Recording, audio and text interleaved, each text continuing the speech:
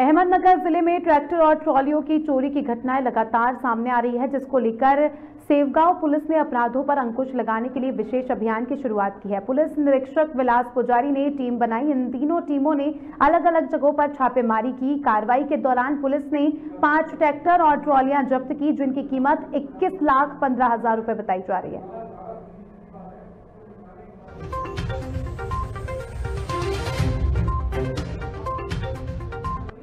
पिछले तीन महीनों से ट्रैक्टर चोरी की घटना हो रही थी। हमने एपीआई पावरा एपीआई शेड़के साहब एपीआई बागुल इनके अगुवाई में तीन टीम तैयार की और